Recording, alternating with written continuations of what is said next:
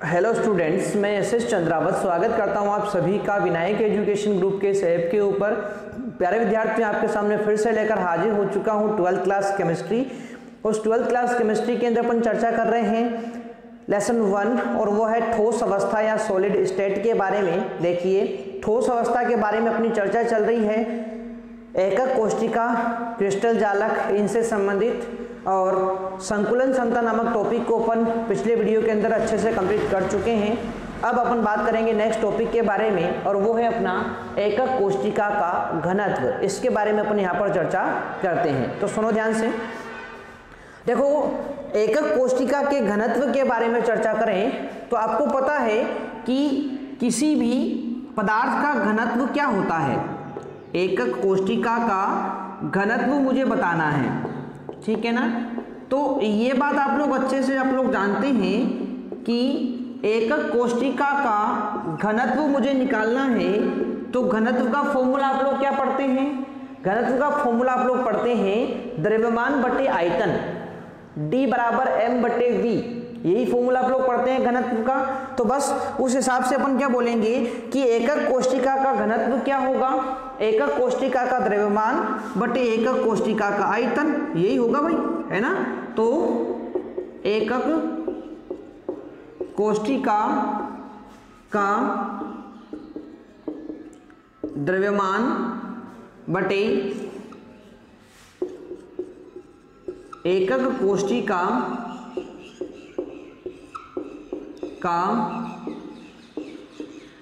आयतन। अब एकक कोष्टिका का द्रव्यमान बटे एकक कोष्टिका का क्या आयतन आप लोग कर देते हैं तो क्या आ जाएगा आपके पास? घनत्व आ जाएगा। ये चीज़ आपको अच्छे से समझ में आती है। अब सुनो, एकक कोष्टिका का घनत्व आपको निकालना है तो इसके लिए आप लोगों को एकक कोष्टिका का द्रव्यमान पता होना चाहिए, एकक कोष्टिका का आयतन आपको पता होना चाहिए। तो ये चीज़ें क्या होती है? ध्यान से सुनो भाई। देखो, सबसे पहले मैं आप लोगों से बोलूँ कि एकक कोष्टिका का आयतन कितना होगा? एकक कोष्टिका का आयतन कितना होगा? तो ये आप लोग अच्छे से जानते हैं कि एकक कोष्टिका क्या थी। आपको पता है एकक कोष्टिका को अपन ने घन माना था? क्या माना था अपन ने इसको? घन। और आप लोग जानते हैं घन का आयतन क्या होता है? भुजा का क्यूब, यानी ए क्यूब। ठीक है ना? तो एकक कोष्टिका का आयतन तो आप लोगों को पता है कि ये घन होती है और घन का आयतन क्या होता है? ए क्यूब होता है। तो इस प्रकार से एकक कोष्टिका का आयतन तो क्या जाएगा? ए क्यूब आ जाएगा। अब आयतन अपने पास आ चुका है। एकक कोष्टिका का द्रव्यमान आपको चाहिए। तो क्या करेंगे? एकक कोष्टिका का द्रव्यमान आपको बताना है। अब देखो भाई, एकक कोष्टिका का द्रव्यमान आप लोगों को बताना है, कैसे बताएँगे? सुनो ध्यान से। भाई, आपको पता है अच्छे से कि एकक कोष्टिका के अंदर होते क्या चीज़ें हैं?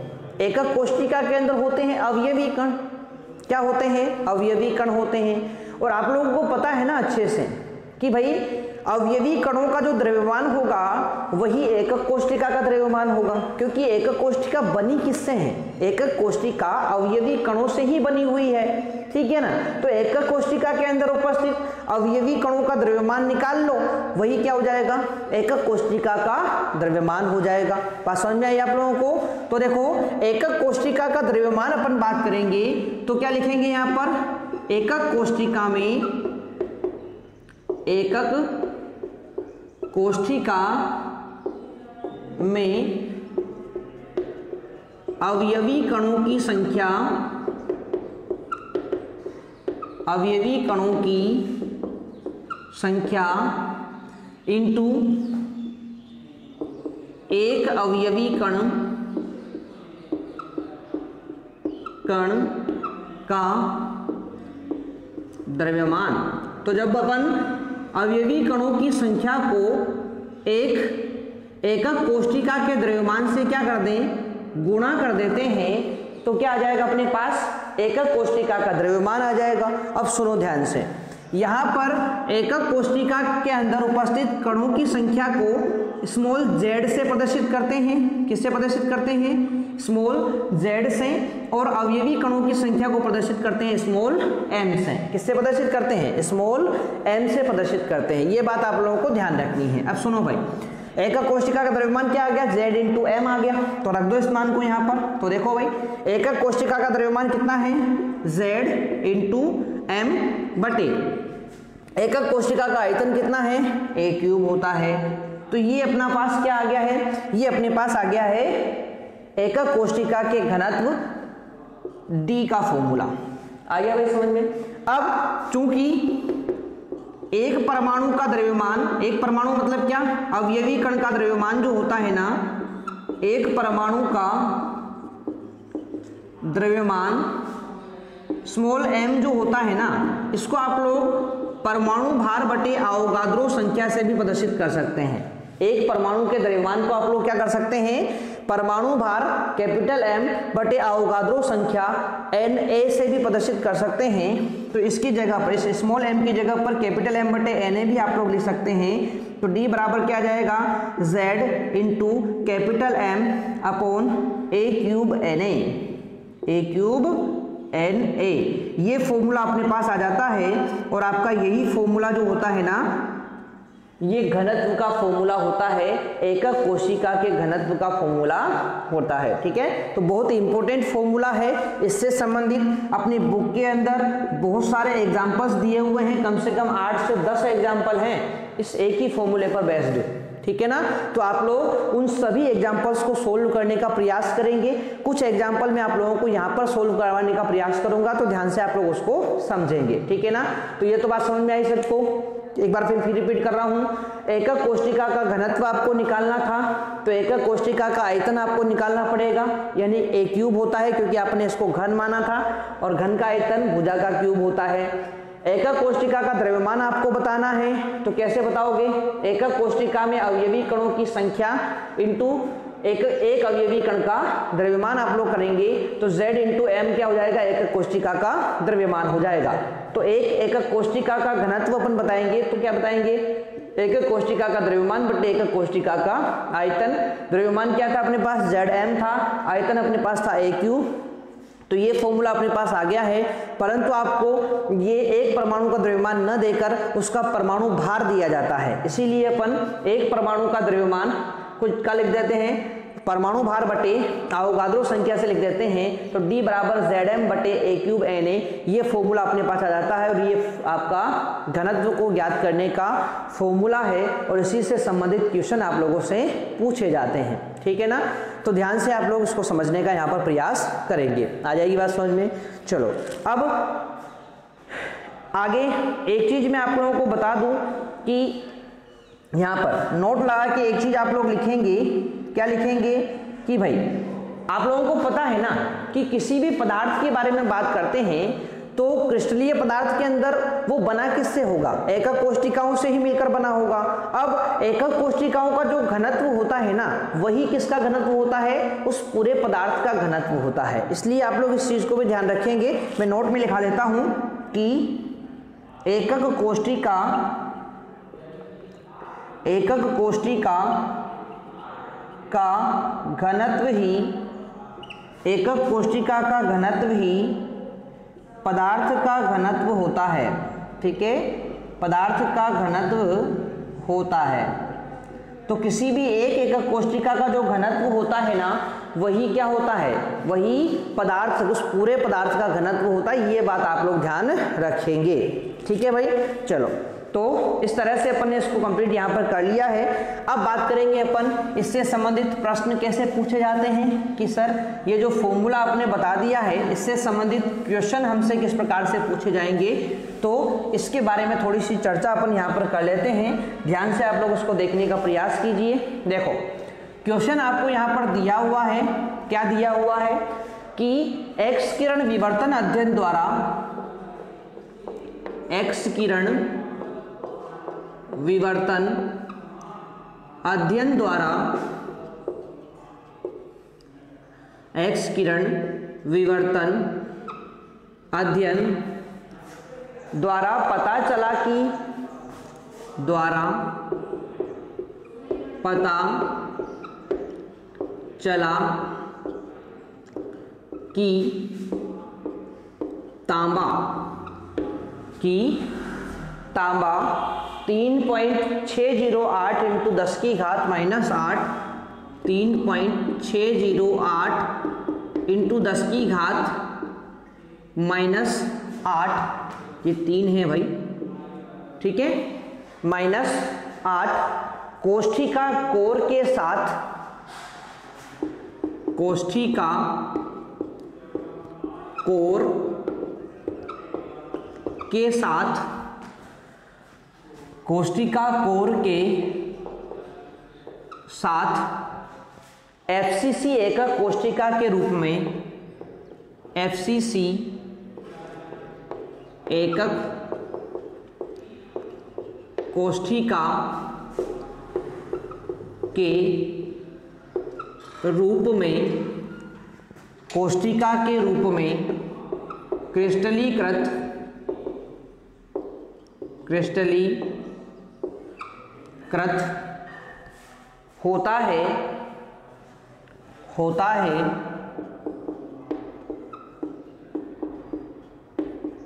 एक दूसरे प्रयोग में, एक दूसरे प्रयोग में तांबे का घनत्व, तांबे का घनत्व 8.92 ग्राम 8.92 ग्राम प्रति सेंटीमीटर क्यूब ज्ञात किया गया। ज्ञात किया गया। तो ज्ञात किया गया। तो तांबे का परमाणविक द्रव्यमान ज्ञात कीजिए। तो तांबे का परमाणविक द्रव्यमान ज्ञात कीजिए।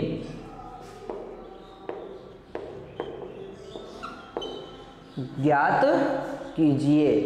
ठीक है भाई? तो यहाँ पर आप लोगों को सबसे पहले तो ये देखना है कि अपन को इस इस क्वेश्चन के अंदर दिया क्या क्या गया है? ध्यान से आप लोग देखेंगे।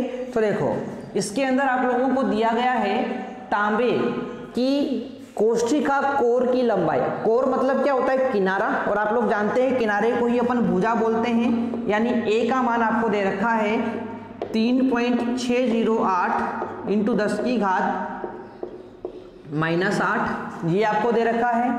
आगे बोला है कि घनत्व। यानी कि d का मान कितना है? आठ पॉइंट नौ दो ग्राम प्रति सेंटीमीटर क्यूब। ये आपको दे रखा है घनत्व का मान। इसके अलावा आपको एक और चीज़ इसने दे रखी है। क्या दे रखी है? Z आप बोलेंगे सर कहाँ दे रखी है? तो देखो भाई, इसने आपको दे दिया FCC अब आपको पता है एफसीसी में z क्या होता है? Z होता है अवयवी कणों की संख्या। और मैंने आपको बताया है कि एफसीसी में अवयवी कणों की संख्या कितनी होती है? तो भाई एफसीसी में अवयवी कणों की संख्या होती है कितनी? चार होती है। ये आप लोगों को पता है। ठीक है ना? इसके बाद आओगाद्रो संख्या आप सभी को पता है इसे कितनी होती है? छः पॉइंट ज़ीरो दो दो इंटू दस की घात तेईस होती है। तो देखो, चार मान आपको दिए हुए हैं, पांचवा मान यानी कि एम कैपिटल एम का मान आप लोगों से यहाँ पर पूछा है, ये परमाणु भार है। तो भाई, मान रखना है आपको फॉर्मूले में, रख देते हैं अपन यहाँ पर। तो देखो, z का मान तो कितना हो जाएगा? चार हो जाएगा। ठीक है अच्छा इसको थोड़ा सा अपन अलग ही लिख लेते हैं। ठीक है ना? देखो जरा d का मान कितना दिया हुआ है? आठ पॉइंट नौ दो दिया हुआ है। Z का मान कितना है? चार है। इंटू एम का मान तो आपको निकालना है ही सही यहाँ पर। बटे, देखो, a का मान कितना दे रखा है? तीन पॉइंट छ ज़ीरो आठ, तीन पॉइंट छ ज़ीरो आठ इंटू दस की घात माइनस आठ का होल क्यूब क्योंकि ए का क्यूब है ना तो इस प्रकार से इस ए के मान का क्या करेंगे अपन? क्यूब कर देंगे इंटू आओगाद्रो संख्या है तो उसको लिखो यहाँ पर छः पॉइंट ज़ीरो दो दो इंटू दस की घात तेईस अपने पास आ जाएगा। ठीक है ना भाई? तो इस तरह से आप लोगों को यहाँ पर सारे मान दिए हुए हैं। अब इस फॉर्मूले को आप लोगों को यहाँ पर सोल्व करके देखना है। जो भी आपका आंसर आ जाएगा, वो हो जाएगा तांबे का परमाणविक द्रव्यमान। ठीक है? तो तांबे का परमाणविक द्रव्यमान आपको यहाँ से प्राप्त होगा। और ध्यान रखें, ये परमाणविक द्रव्यमान यहाँ पर जो आपको प्राप्त होगा, वो लगभग तिरसठ के आसपास है, तिरसठ पॉइंट पाँच के आसपास आपको ये प्राप्त हो जाएगा। ठीक है ना? एक बार ध्यान से निकाल के देख लेना, जो भी आएगा आप लोगों का, वो आंसर हो जाएगा। ठीक है भाई? चलो तो ये था अपना इस तरह के क्वेश्चन आप लोगों को दिए जाएँगे। इस फॉर्मूले के अंदर कुल पाँच मान है। पाँच में से आपको चार मान दिए जाएँगे और पांचवा मान आप लोगों से यहाँ पर पूछ लिया जाएगा। ठीक है ना? तो इस तरह के क्वेश्चन आप लोगों से एग्ज़ाम के अंदर पूछे जा सकते हैं। तो ध्यान से आप लोग उसको निकालने का यहाँ पर प्रयास कीजिएगा। ठीक है? तो ये था अपना घनत्व ज्ञात करना। आशा करता हूँ आप सभी को ये टॉपिक यहाँ पर बिल्कुल समझ में आ गया होगा। ठीक है भाई? चलो। अब बढ़ते हैं अपना आगे की तरफ़। बढ़ते हैं अपना आगे की तरफ़, देखो।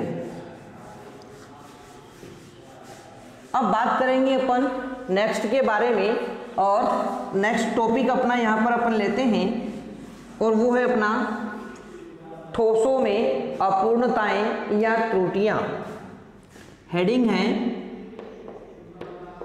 ठोसों में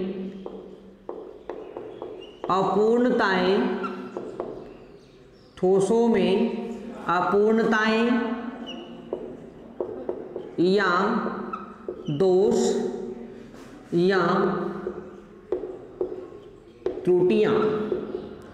तो ध्यान से आप लोग उसको देखने का प्रयास कीजिए, क्या है यहाँ पर ठोसों में अपूर्णताएँ या दोष या त्रुटियाँ? ठीक है ना?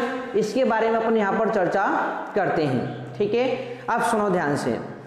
जो ठोस पदार्थ होते हैं ना, प्यारे विद्यार्थियों, मैंने आपको बताया है कि ठोस पदार्थों में अवयवी कण निश्चित नियमित ज्यामिति में व्यवस्थित होते हैं। क्योंकि अपन क्रिस्टलीय ठोसों की बात कर रहे हैं तो यहाँ पर अवयवी कण बिल्कुल निश्चित नियमित ज्यामिति में क्या होते हैं? व्यवस्थित होते हैं। और ये जो अपना ठोस पदार्थ है यदि इसके बारे में चर्चा करें तो ध्यान रखें कि जो निश्चित नियमित व्यवस्था देखने को मिलती है ना, किसी भी ठोस के अंदर, वो देखने को मिलती है ज़ीरो केल्विन तापमान पर, जिसे आप लोग क्या बोलते हैं? परम शून्य तापमान कहते हैं। तो ध्यान रखें किसी भी ठोस की ज़ीरो केल्विन तापमान पर या परम शून्य ताप पर जो अवयवी कणों की नियमित व्यवस्था होती है, उसे अपन आदर्श व्यवस्था बोलते हैं। और इसीलिए ज़ीरो केल्विन टेम्परेचर पर जो क्रिस्टल होता है, वो पूरी तरह से आदर्श क्रिस्टल होता है।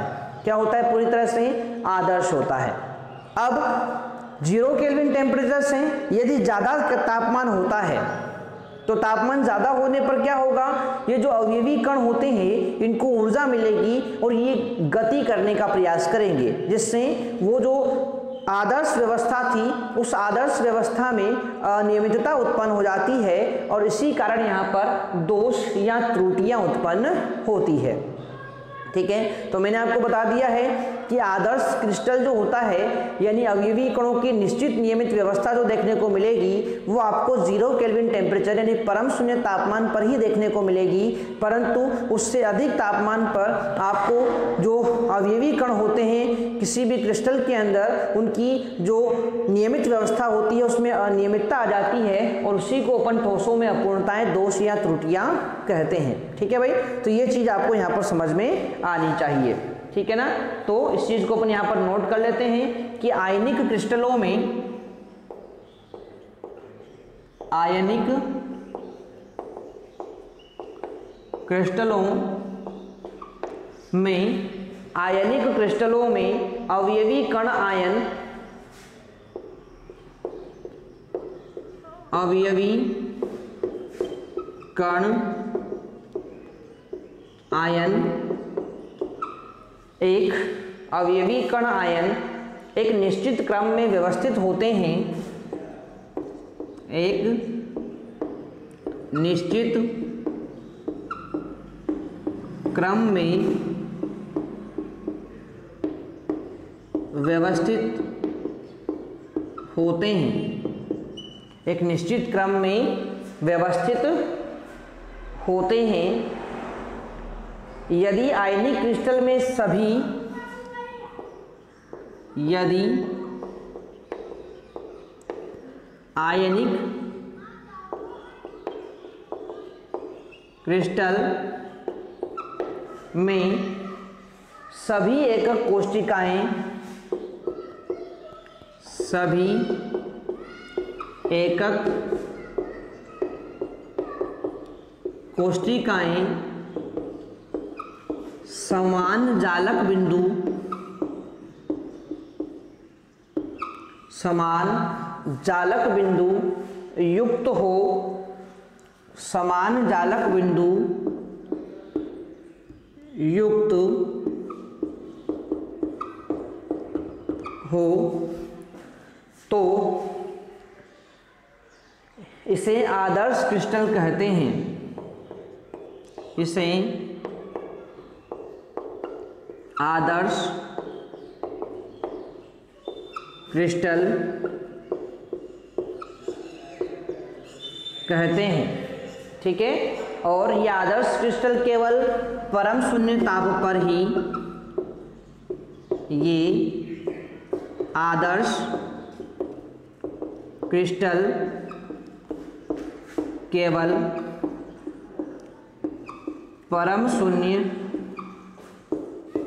ताप, यानी ज़ीरो केल्विन पर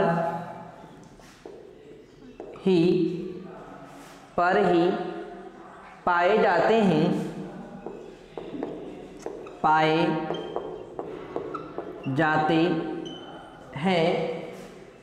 इस ताप के ऊपर क्रिस्टलीय ठोसों की इस ताप के ऊपर के ताप पर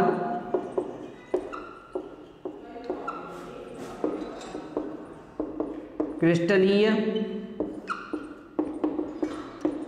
ठोसों की नियमित व्यवस्था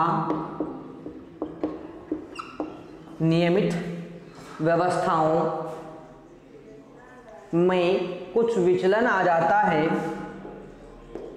में कुछ विचलन आ जाता है। विचलन आ जाता है, जिससे क्रिस्टल में अपूर्णताएँ या त्रुटियाँ, जिससे क्रिस्टल में अपूर्णताएँ या त्रुटियाँ उत्पन्न हो जाती है।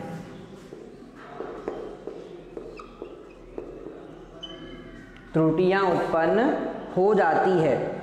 ठीक है? आगे बात करें तो सुनो ध्यान से। एक तो तापमान में वृद्धि के कारण त्रुटियाँ उत्पन्न होती है। एक और चीज़ ध्यान रखेंगे, यदि क्रिस्टल के अंदर अशुद्धि मिला दी जाए ना तो भी त्रुटियाँ उत्पन्न हो जाती है। ये बात भी आप लोग यहाँ पर ध्यान रखेंगे। ये त्रुटियाँ ये त्रुटियाँ अशुद्धि अशुद्धि के कारण भी उत्पन्न हो जाती है। अशुद्धि के कारण भी उत्पन्न हो जाती है। अशुद्धि के कारण भी उत्पन्न हो जाती है। ये त्रुटियाँ क्रिस्टल के गुणधर्मों को बदलकर ये त्रुटियाँ क्रिस्टल के गुणधर्मों को बदलकर बदलकर, नए गुण बदलकर, नए गुण उत्पन्न कर देती है। उत्पन्न कर देती है। ठीक है भाई? तो इस प्रकार से जो क्रिस्टल होते हैं इन क्रिस्टलों के अंदर इन ठोसों के अंदर एक तो तापमान में वृद्धि होने के कारण और एक अशुद्धि के मिलने के कारण विभिन्न प्रकार की त्रुटियाँ, विभिन्न प्रकार की अपूर्णताएँ, विभिन्न प्रकार के दोष देखने को मिलते हैं। अब ये कितने प्रकार के होते हैं? किस प्रकार से ये दोष उत्पन्न होते हैं? इन सब के बारे में बहुत विस्तार से अपन चर्चा करने वाले हैं नेक्स्ट वीडियो के अंदर। तो उसमें आप लोग आना ना भूलिएगा। मिलते हैं अपन नेक्स्ट वीडियो के अंदर। तब तक के लिए टेक केयर बाय विद्यार्थियों।